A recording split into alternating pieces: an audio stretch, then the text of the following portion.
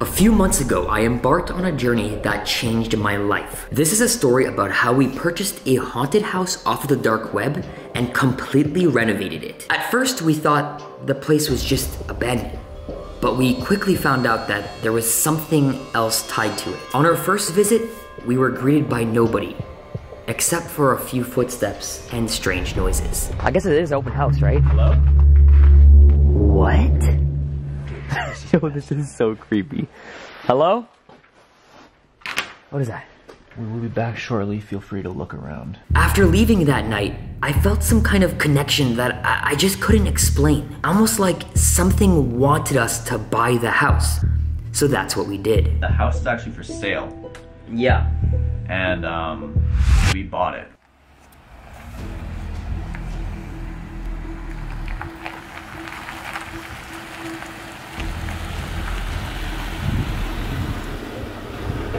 Right on time. Let's do this. Welcome to the new Jester House. As you guys may know, I bought this place with my boy Hype Myke a few months back, and since the day that we actually filmed an entire series here, I've actually renovated it and spent the last few months making it into its best possible version. But before we go inside, don't be fooled by the looks. It is one of the most haunted houses I have ever been, and now I have the honor to introduce you guys to our new haunted house. Welcome home. Ooh.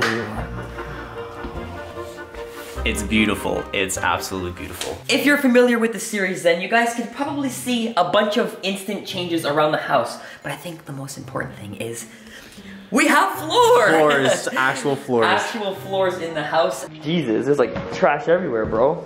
So starting off with the main area, as you guys can see, there's actual life to it with a couch, some plants, a rug. We even got a nice TV here. When we first came into this place, there was no life to this at all. There was walls that needed painting, there was floors that needed floors, and this whole thing was fully trashed with dust, old newspapers, and everything just needed a little bit of a change. Over here is where the most significant change happened as there was literally a hanging wall right here that we had to completely rebuild because there was absolutely no purpose at all. You might have a hard time to tell was here because there's floor above it and it's fully covered, ceiling up and all. You even see like the line of where the wall used to Yeah. be here. It's uh, pretty crazy how you can change houses like this.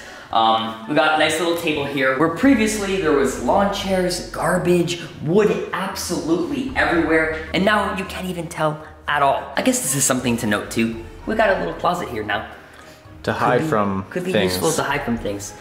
There will eventually be a door here so that if I'm ever being attacked, I could just Where'd you go, bro?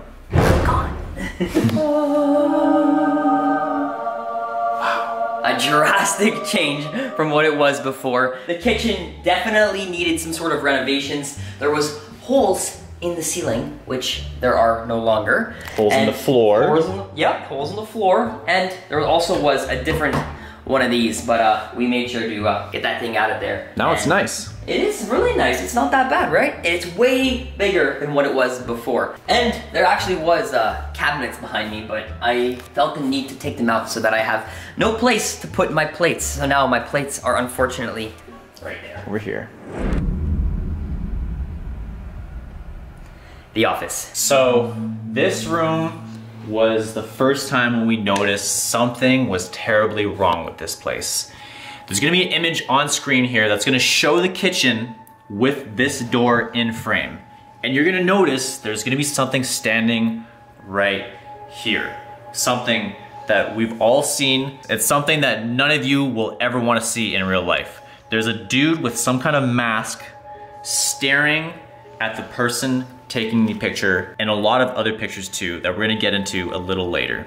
But just to note that this office was the first time where we saw this thing. Continuing down the hallway, as you guys can see, we got a nice, beautiful mirror. Hello there, guys. Hello. And believe it or not, we have an actual bathroom.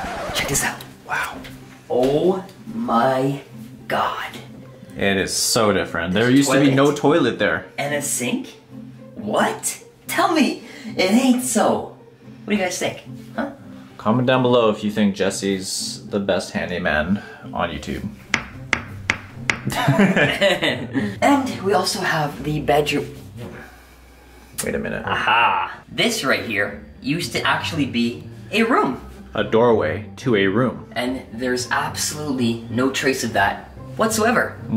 Some kind of like paranormal power that you have, or what's going so, on? So, there's actually a reasoning for this, and we tested our luck playing a game of hide and seek, all four of us, when we were here after purchasing the house. The living room all together, and that is because we have a very special game that we need to play.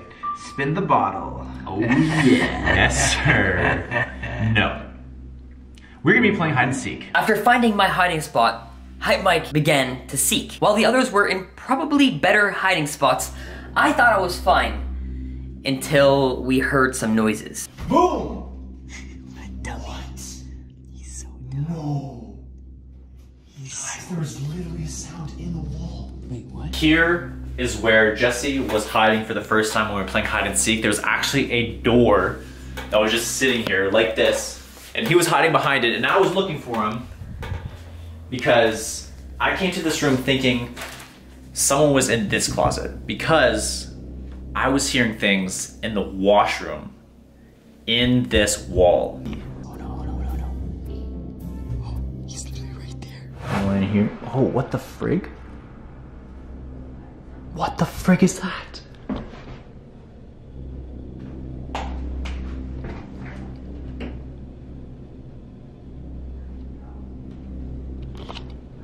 I hear something. After going through that experience with Hype Myke, I figured it'd be best if I turned this into a closet rather than a bedroom as I wouldn't want anyone sleeping in here while these creepy noises are happening. Leading into the master bedroom. Oh yeah. I think this room, out of all of them, has probably gotten the absolute most love and the most change. Starting over here, we actually had two giant holes on the side here. The walls were messed up. There was no floor. There was even wires hanging from the ceiling, which you guys can see. I kind of covered up there, but it's not the easiest.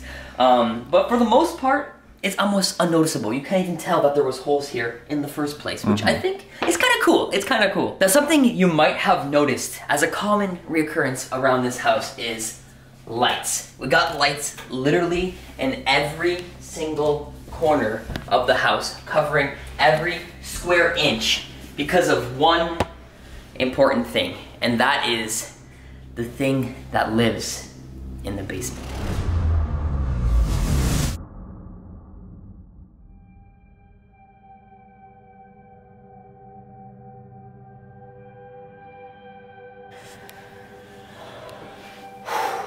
It's been a while since we've gone down there, but before we do, I'm gonna explain to you guys exactly what lives down there.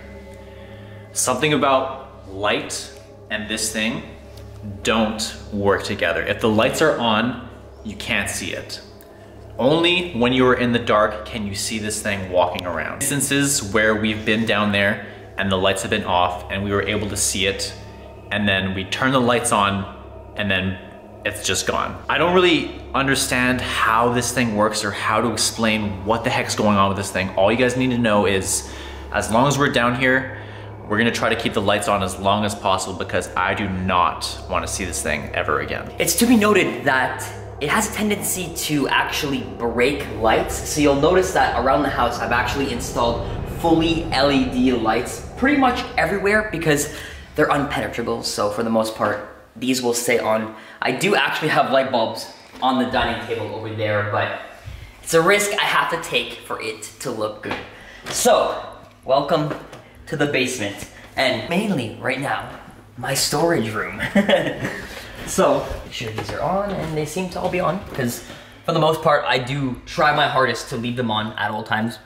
It's okay, I think it's worth it. But you guys can see here, it's a pretty straightforward basement. Right now it's my storage because as again, I just moved in after renovating everything. That right there is the bathroom and And the light is off. the light is off. Holy crap, that's so I'm scary. I'm gonna leave that like that and we're not gonna deal with that for now, okay? So, here's my little tour. Just a plain old, simple basement. I've actually run into this shadow, I like to call it, um, a few times while renovating the house because there were some times where it was a little late and um, a little lackluster in the light department upstairs.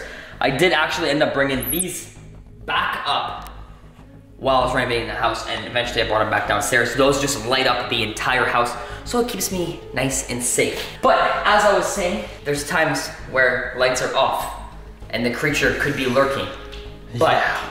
I know that he's not in here simply because I locked him in that room over there. But before containing him, something happened. One day, driving here to work on the house, I parked in the garage and I got out and I noticed something. It was extremely hot. So, first thing I decided to do was come down the stairs as usual and I came in this room. Right here is the heater. And I entered this room and it was so hot that almost instantly when I walked past this door, I started sweating to the point where I was like, what is happening? Why is it so hot? And I noticed that this right here was turned up to the absolute highest it could be.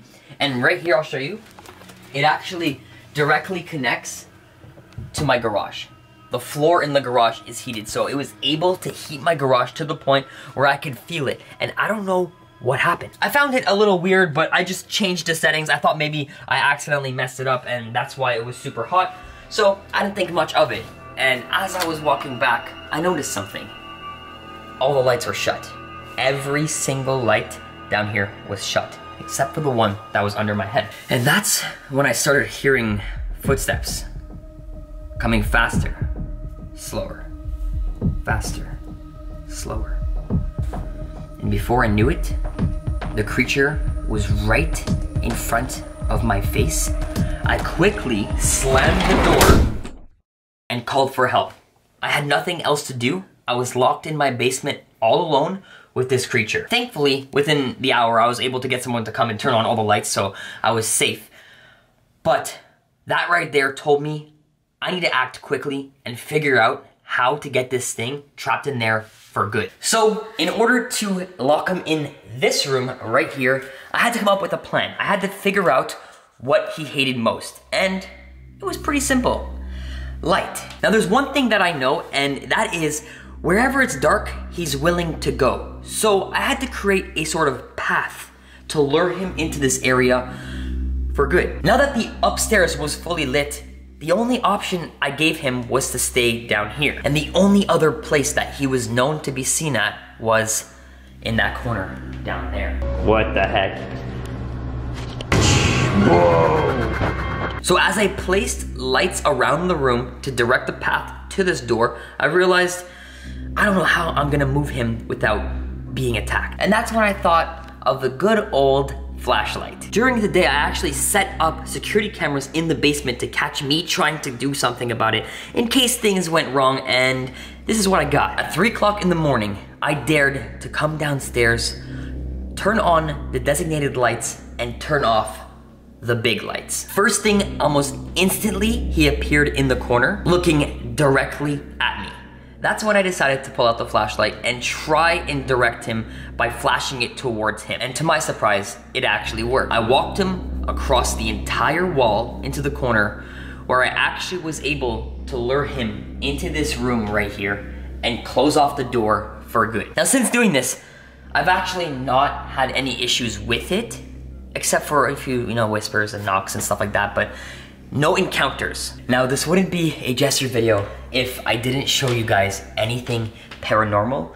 So I'm actually gonna give you guys a sneak peek of what's actually behind that door as it is probably one of the most terrifying things I have ever seen on this channel. Now, we gotta be as quiet as we possibly can to not upset the creature.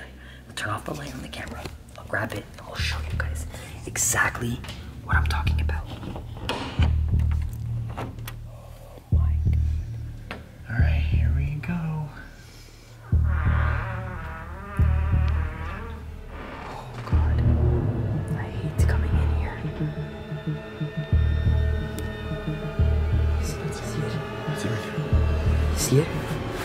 See it? Oh my god! What? What did I say? It's pretty How terrifying, did you right? get that thing locked in there like that? Don't worry about it, okay? Let's just, let's just go ahead and end it. Oh boy, okay, well, I guess before ending the video, I'm gonna show you the last part of the house. That is the ginormous backyard. Woohoo!